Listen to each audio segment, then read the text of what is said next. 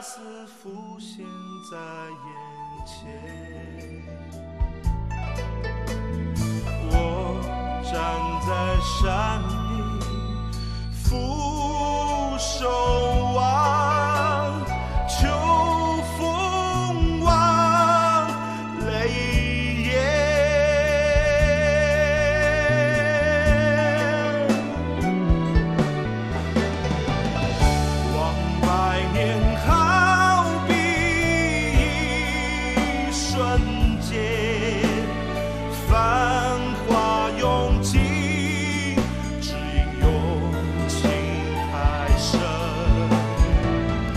望百年海，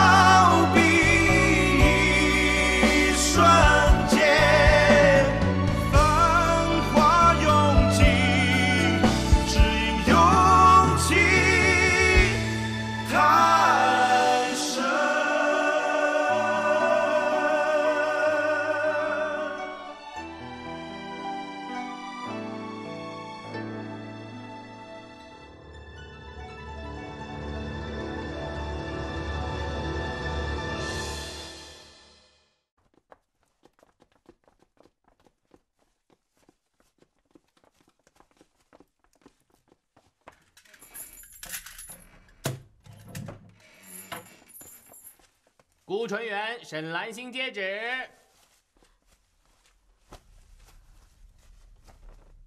奉天承运，皇太后懿旨：顾纯元、沈兰心因触犯大清律法，被判流放云南，钦此。谢皇太后恩典。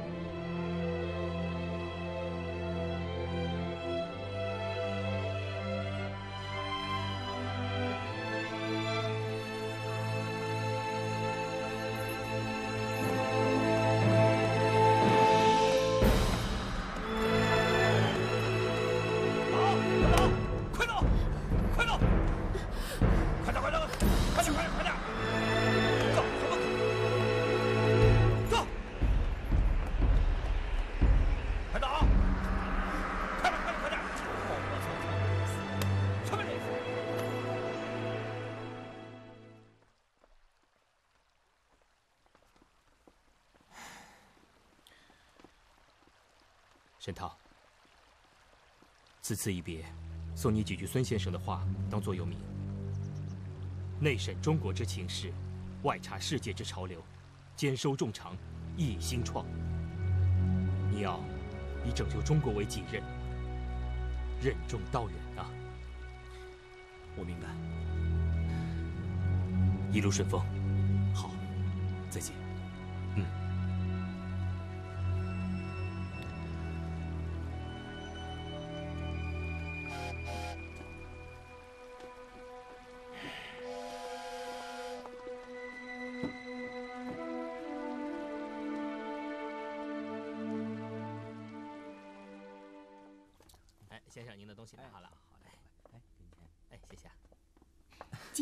会还挺不错是吗的，我以后啊经常陪你来玩，好吗？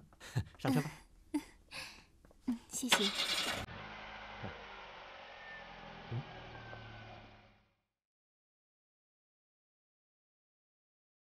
走啊！啊，好。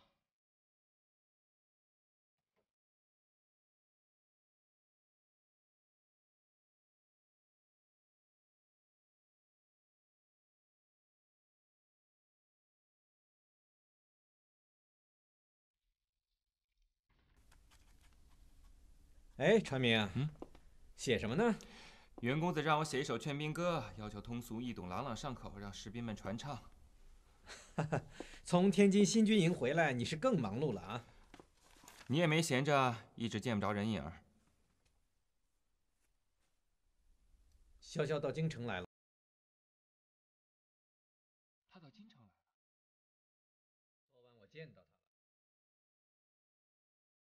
那他现在在哪儿？我不知道。传明，重要的是要把他找到，劝他回去。我不想他在这儿惹麻烦。麻烦是你惹的，我才不去找他呢。要找你自己找。我可是帮了你大忙，你不要忘恩负义啊！当初要不你是我不要再提当初了好不好？这事儿，你就看着办吧啊！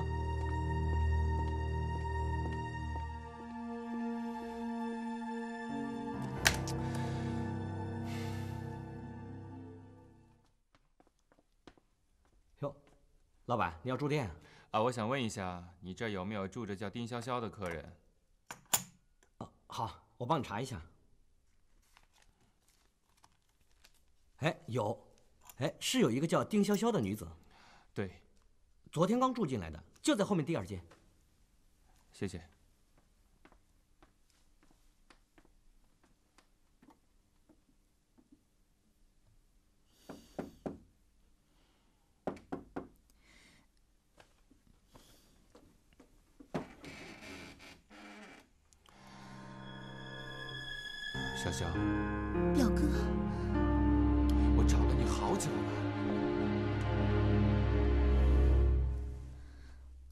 我来京城了？有人告诉我的。你为什么来了之后都不告诉我一声呢？我是来找魏公子的。表哥，你不是跟我说过，他到京城安排好之后就会来接我的吗？可是为什么我等了那么长时间，可是他连最起码的一封信都没有给我？表哥，你知道他在哪里吗？我怎么样才能找到他呢？我也很久没有见到他了。潇潇啊，你就别想着那个人了。你是知道的，他魏公子是个什么样的人呢、是一个吃喝嫖赌的花花公子。就算他今天把你接到京城来了，他也不会好好对你，也不会给你一个名分的，对不对？你别犯傻了。我怀孕了。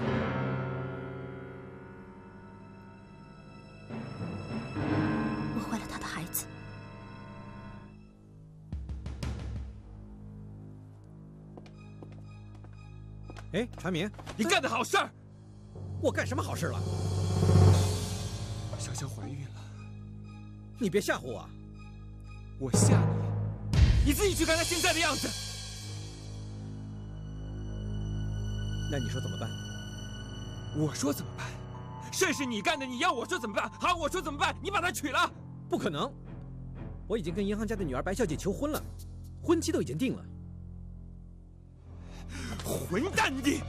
陆传明，你不要一副道貌岸然的样子。当初我跟你表妹发生的事情，还不是你拉的皮条？要说造孽，也有你一半，你脱不了干系。说到天边，我不过是睡了一个小家碧玉，你呢？把自己的表妹都拿出来买官进爵，你才不是东西呢！现在事发了，我们俩就是绑在一起的蚂蚱。这忙你是帮也得帮，不帮也得帮。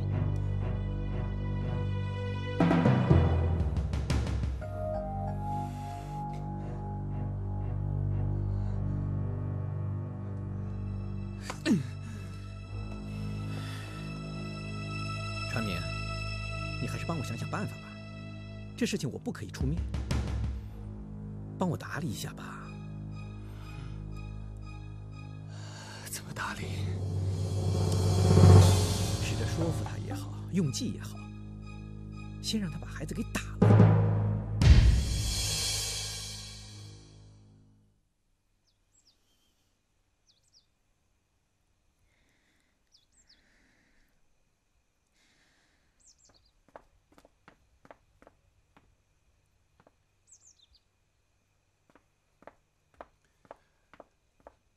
潇潇，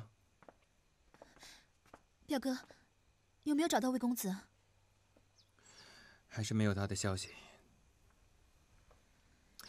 喜事这样拖下去也不是个办法。表哥倒是有个想法，你说，把孩子拿掉。不，不，不管怎么说，他也是一个小生命，我不能随随便便的就把他打掉。你有没有想过，这孩子是魏公子的，是他造的，你也留下的种。不管怎么样，还是先找到他再说。那要是找不到他，找不到他，你就等着肚子一天天大起来。想想，不管怎么样，你现在是一个未出阁的女孩子，这种事要是让别人知道，你脸还往哪儿摆？我早就没脸见人了，更不怕别人说三道四。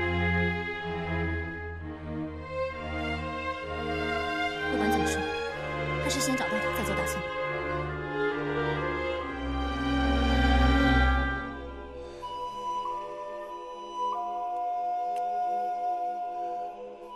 既然你这么坚持，那表哥也不强求你。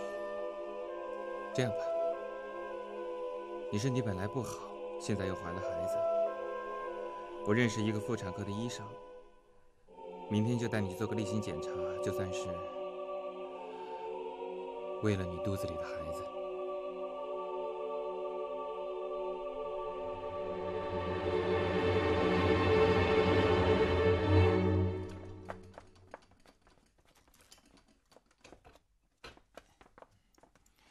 给，哎，谢谢。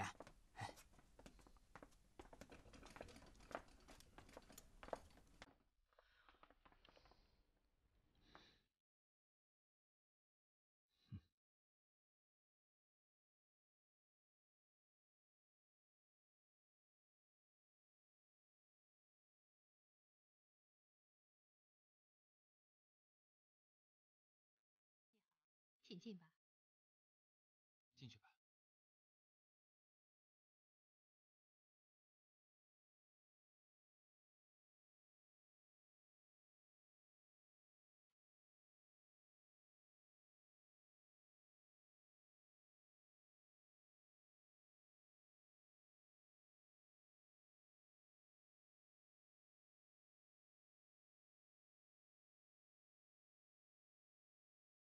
躺下去。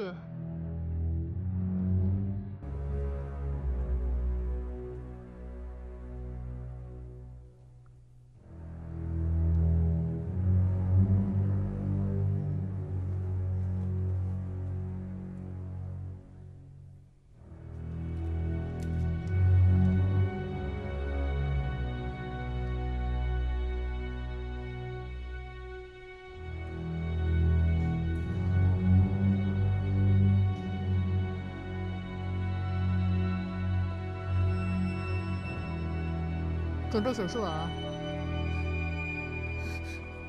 手术？什么手术？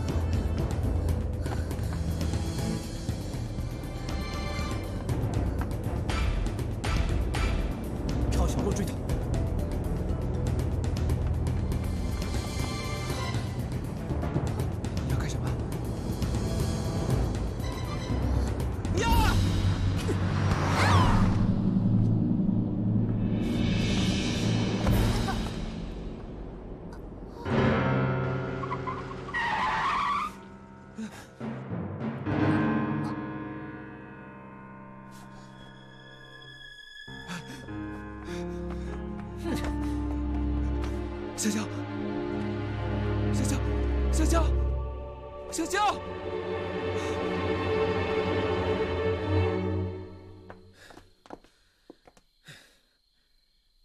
现在事情弄成这个样子，你说怎么办？你说怎么办？所有事情都是你搞出来的，我怎么知道怎么办？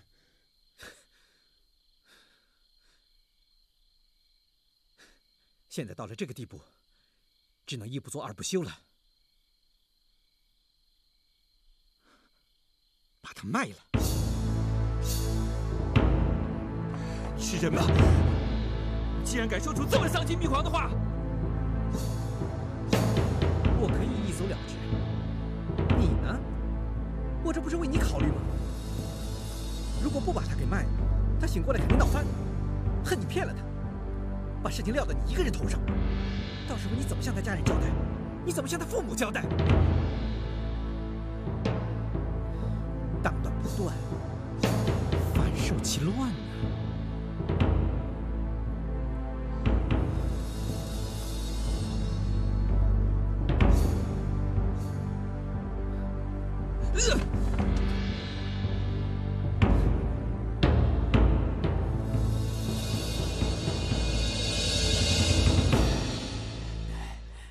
这是给你们的。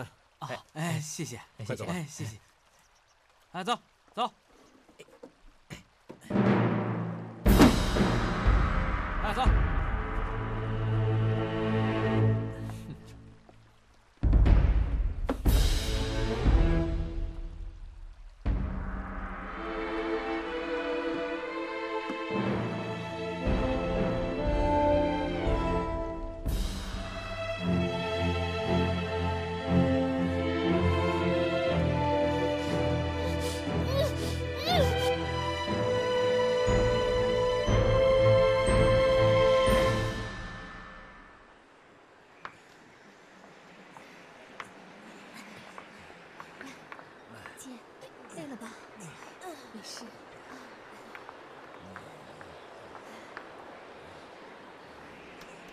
给我勤快点！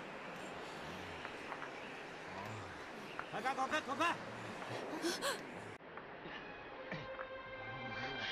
赵公，赵公公，你怎么也在这儿？春元，快点！安心，别偷了！你妹被流放到这儿了。是啊别吵了！你不懂这儿的规矩吗？不许乱说话，不许乱走动。让你们想挨鞭子，干活去。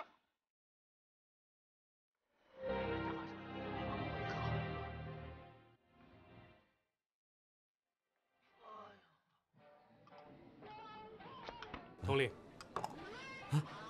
佩子东，怎么是你啊？认不出我吧？哎呀，认不出来了。这么久不见，你的变化太大了，怎么连辫子都没了？嗯来，坐坐坐坐。怎么，想不到是我吧？真想不到是你呀、有人给我送了一封信，嗯这信上就写了“万福楼”三个字，我就过来了。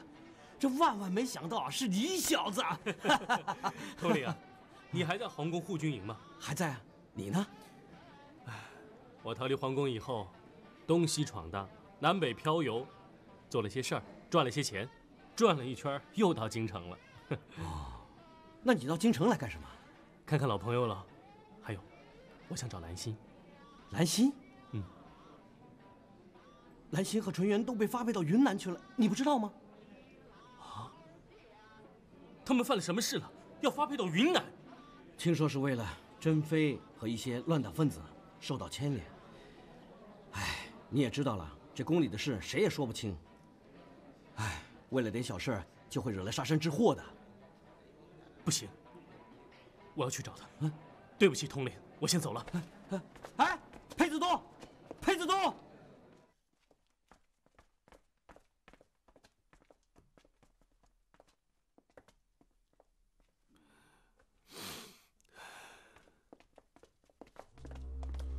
哎，顾传明，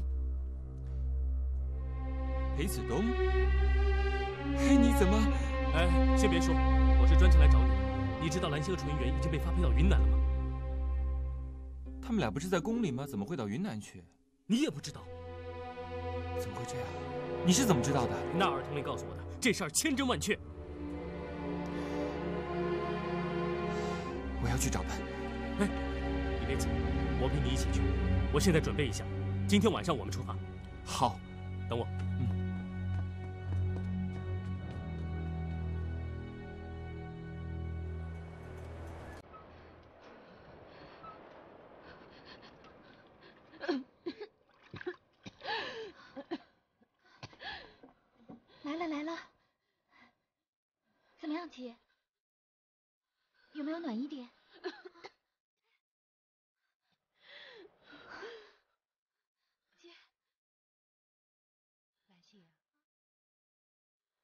这样不行的。可是这种地方哪有药啊？我知道，豹子爷那边有。豹子爷有药。嗯。哎谢谢啊。豹子爷，我刚去找您，我姐姐病得厉害，发烧发得很严重，我想跟您拿点药。好吧，待会儿我叫人给你把药送来。谢谢豹子爷。嗯，哎，对了，兰心，我那儿有间砖房，你和你姐搬过去住吧。啊，真的吗？那我们现在能搬吗？不着急，等收拾好了你们再过去。太谢谢您了。嗯，谢谢。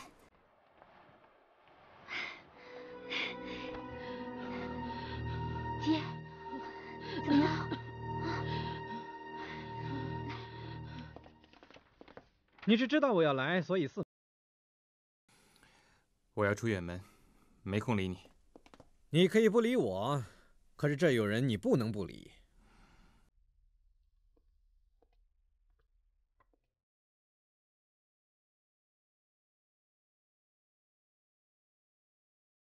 袁公子，士别三日，当刮目相看。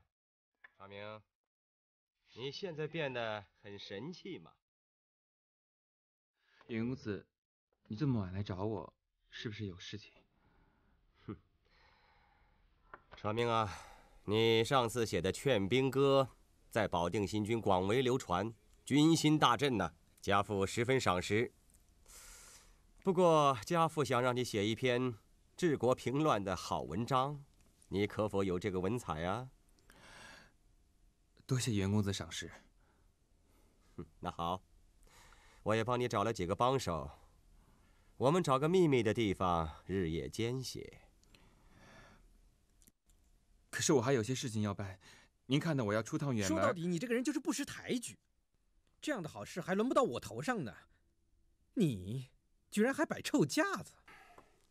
唉，既然传明有事儿，我也不再勉强啊。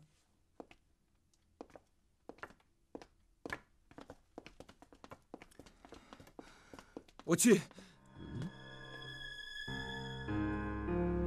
那好，车马就在门口，走吧。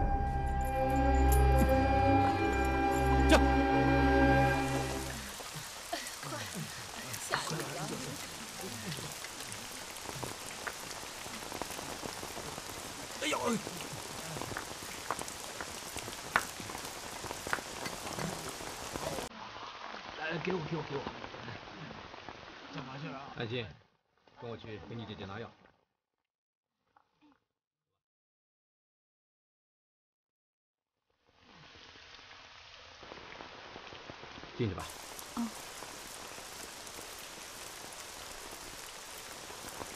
药就在我屋里。哦。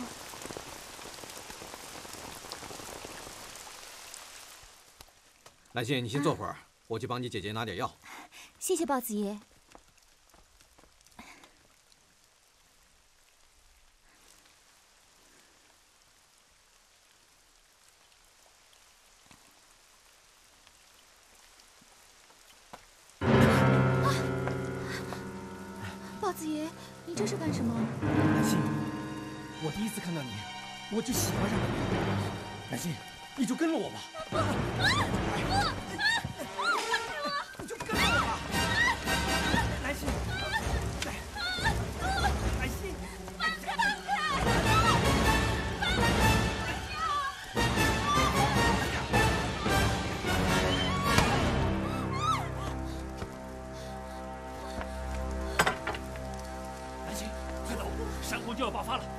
找你姐。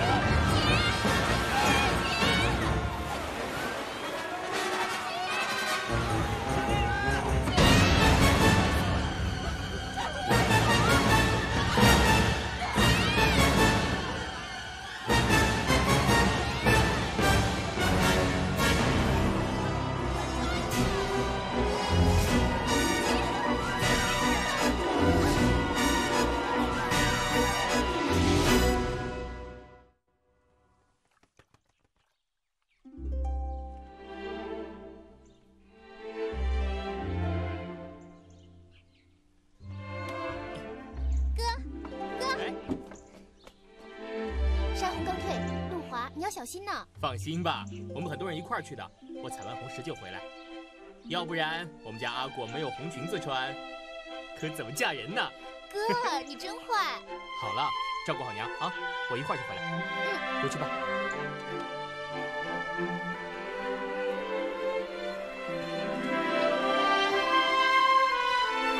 小心啊，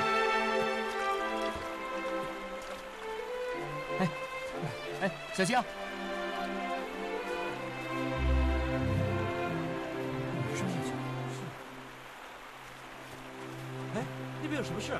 过去看看。哎，好嘞。发生什么事了？下面有人，他们一定是被洪水冲上来的。我们先去看看，救他们上山，快！好好。小心啊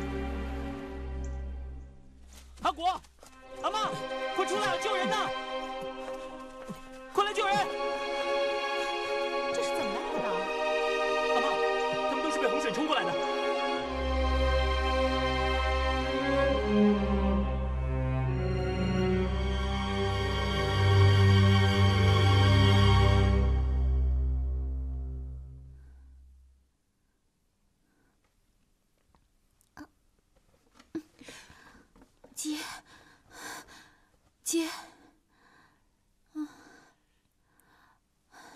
我这是在哪儿？姑娘，你是被洪水冲到我们这儿来的。我姐呢？放心吧，你们都被救了。这是我阿妈，我叫阿果。你呢？我叫兰心。谢谢你们。我姐在哪儿？带我去看我姐。姐，兰心，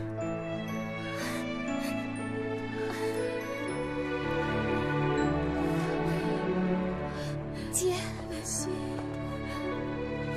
你怎么样啊？我只是有点伤，没事的。就怕再也看不到你了。姐，我们总算逃过大难。还多亏这场山洪，把兰心从豹子爷的虎口中救了出来。两位姐姐，还有这位大哥，阿妈说了，这间房原本就是空着的，你们就住下来吧。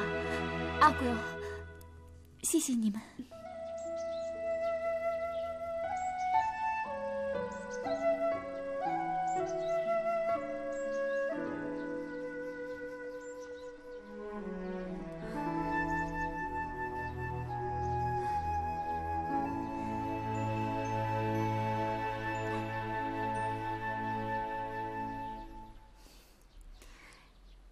姐，现在你的烧也退了，总算没事了。这下你放心了吧？让你受了一夜。姐，我们是亲姐妹，还说这样的话？对，我们都是孤家的姐妹。嗯，我们算是死过一回了，可现在好了，又重新活过来了。兰心，嗯，明天咱们就离开这儿。姐要带你回去，让爹认回你这个女儿。让爹认回我这个女儿。我知道，或许你心里有怨，但是爹也有他的苦衷。我希望你可以原谅他。难道你不想做回顾家的女儿？不是这样。很想做回顾家的女儿，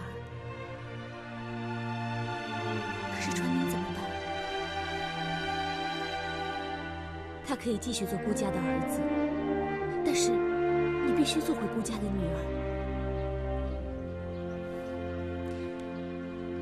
姐，你让我想想。你不用担心，一切由姐给你做主。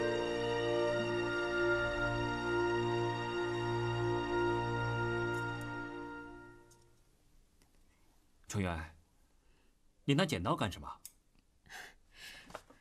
入乡随俗啊！你看阿郎他们多精神啊！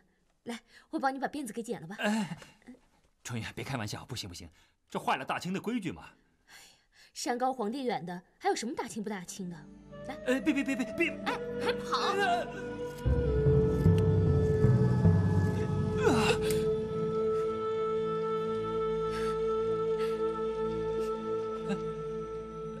春元，我我没了辫子，我们就回不了家了。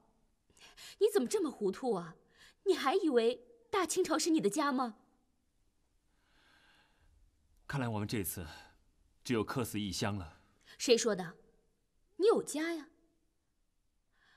我已经仔细想过了，你跟我们一道回去。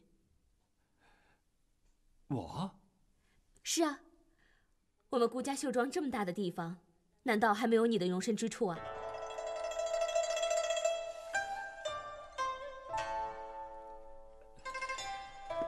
可是我毕竟是个太监，你们家德高望重的门第，能容纳我吗？全福，你怎么又说丧气话呢？我既然要带你回去，就一定会有这个把握。春元，你还年轻，还可以选择自己的生活。可是我，从小就入了宫，什么也不会，什么也不懂。只会供人使唤，我会成为你的累赘的。谁都可以这么说，就你不行。姐，全福哥。啊。哎，全福哥，你怎么把辫子剪了？呃。是啊。哎，兰心啊，你怎么去阿果家去了那么久啊？姐，我这样告诉你，姐，你知道吗？阿果的阿妈是个刺绣高手，他们这刺绣啊，线色和图案都不一样。那你都讨教了吗？还没来得及呢，只问了一点儿。如果我们能在这儿多住一阵子，可以学到很多东西，说不定将来会有用呢。兰心，这是你想留下来唯一的理由吗？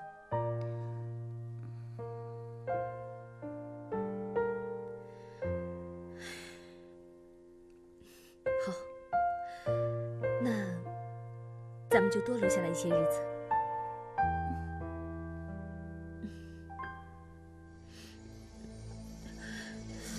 姐，怎么了？春远，你怎么了？有点头疼。头疼？春远，头疼可大意不得。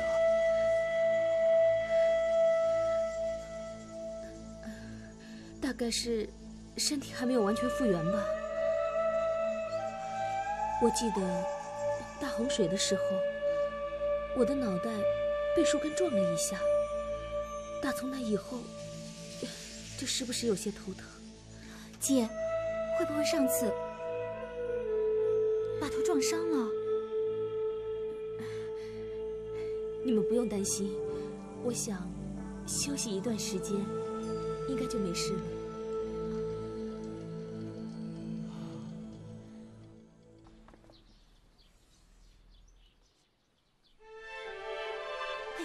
呀，兰心啊，你绣的玫瑰花像真的一样，我好像都闻到花香了。你们庄园的刺绣真的比我们精细的多了。阿妈，你也不能这么说。我觉得你们的刺绣不光是模仿了它的逼真性，最重要的是充分发挥了你们的想象力跟创造力，这才是最高境界，不是吗？你说的真好。兰心，你看你多讨阿妈的喜欢，阿妈呀恨不得收你做女儿呢。兰心，你愿意吗？阿妈。我怕您会嫌弃我，儿的话，我巴不得有你这样的好女儿啊！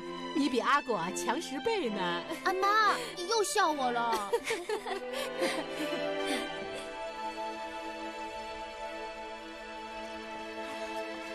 兰心啊，你看啊，这赤石的颜色果然是耐久不退。看来呀，我们还真是因祸得福呢。姐，今天什么日子？你要我洗这么多菜？明天就是咱们汉人要过的元宵节啊！明天是元宵节了。是啊，我都不记得了。往年元宵啊，咱们都是要吃汤圆的，只是在这儿，也就只能将就了。但是呢，这习俗可不能免。借给你呀，做几个野菜圆子尝尝。我还记得以前的元宵节，我们猜灯谜、舞狮子，还有通宵达旦的爆竹。兰心，嗯，该学的绣艺，咱们也学的差不多了。孤家的人，总归是要回到孤家的。这是娘对我的临终嘱托。姐该带你回去了。姐，我也很想家，很想回去。可是毕竟已经二十多年了。如果传明知道自己不是郭家的亲生儿子，他一定会很伤心。你真是什么都替他着想。可是你有没有想过，这些年，顾家又是怎么待你的？你朝思暮想的传明，他有给过你只言片语吗？姐，这也不能怪传明。他一个人在外面谋事，挺不容易的。我什么都帮不了他，不想拖累他，更不想因为我的事让他伤心，让他一下子接受这个事实真的很难。如果这个时候我去认祖徽宗，我担心会伤害到他。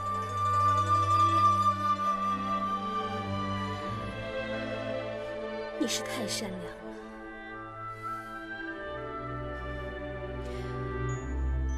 可是姐已经决定了。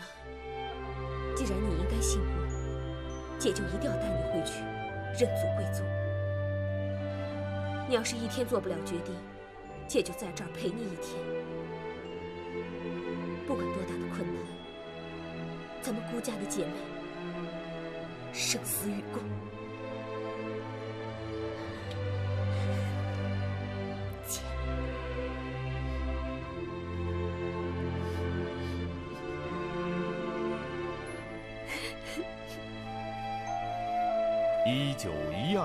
元宵节是个不平凡的元宵节。困在西南边陲深山老林里的兰心，并不知道外面的世界已经发生翻天覆地的变化。一九一一年，武昌首义的一声枪响，中国革命党人在民族危机深重时刻走上了政治舞台。一九一二年元旦，孙中山在南京就任中华民国的临时大总统。创立了中国历史上第一个共和政体，辛亥革命宣告了中国封建帝制王朝的覆灭，也迎来了光复中华的第一个元宵节。啊，春元，放着我来吧。还是我来吧，你忙了一天了，也累了，没关系，坐下歇会儿。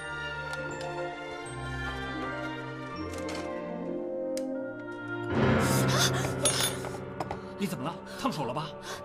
没事，没事。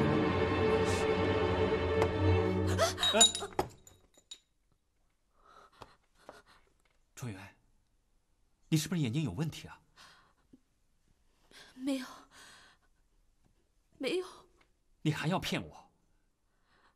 你都病成这个样子了，要把自己的委屈藏到哪一天啊？不是我想要委屈自己。这种塞外边陲的地方，我就是说出自己的病，除了增添你们的烦恼，又能怎么样？可那也得想办法呀。这里缺医少药的，能想什么办法？还有什么办法？春元，我们一起想办法好吗？我们俩十几岁，从紫禁城到现在，经历了多少坎坷，不都是相辅相搀的走过来了吗？我们一起想办法好吗？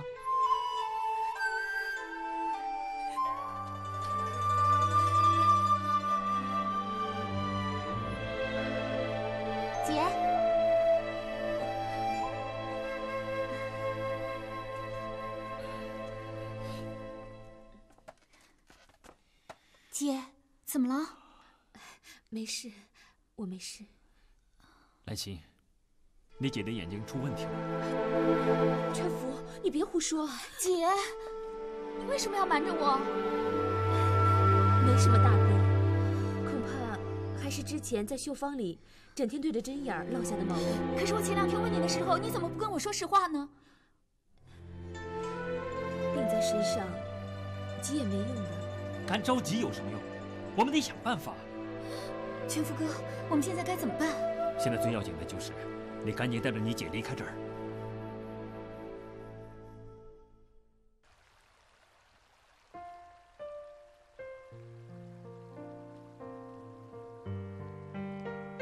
姐，嗯，昨天晚上我想了一夜，认爹的事情我答应你，我跟你回去。你说的是真的？嗯，我已经想清楚了，姐。这么多天来，我一直拖累你，不然你早就回家了。我觉得全福哥说的很对，这样耽误下去，你的眼睛一定好不了。所以我们赶快回去，赶快治眼睛。可是，由云贵到江南，毕竟是千里迢迢，我怕我这样会拖累你们。姐，你说什么呢？这么多年来，你这么照顾我，这么关心我，现在是你最需要我的时候，你还说拖累我？姐，不管再苦，我都要一直陪着你。兰溪，全福昨晚就去打听治眼的秘方了，等他回来以后再说吧。嗯。纯元，全福哥，治眼病的偏方我打听到了，这儿的人用一种叫石耳的来治眼病。石耳？对，是一种长在深山石头上的东西，有点像木耳。都说石耳能够消炎明目，我现在就去找。你要等我啊！你小心啊！啊！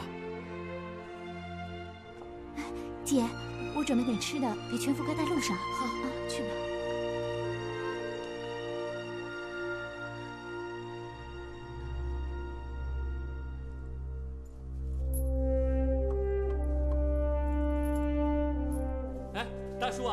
我向你打听件事儿啊，你知道那边原先住着从中原发配过来的犯人吗？怎么连个人影都不见了？前些时候啊，这里有过地震，山洪爆发，冲走了几乎所有的东西。他们人呢？哎，那些犯人淹死的淹死，冲走的冲走，就是不死也都散光了。都冲到哪个方向去了？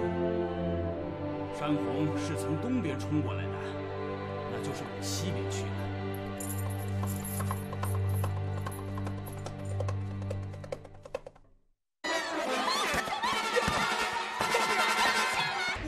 串啊！哎，飞哥，哎哎，我飞哥，我是钱串，我是钱串啊！飞哥，我不是你培哥。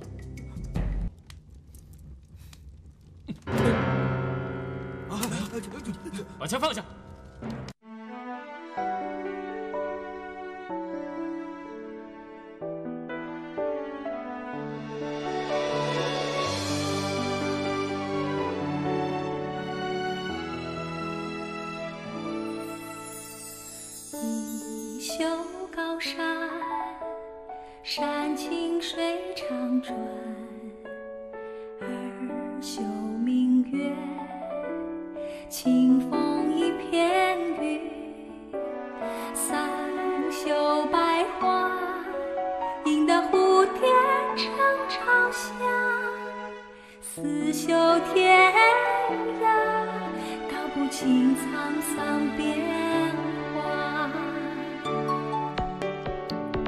多少光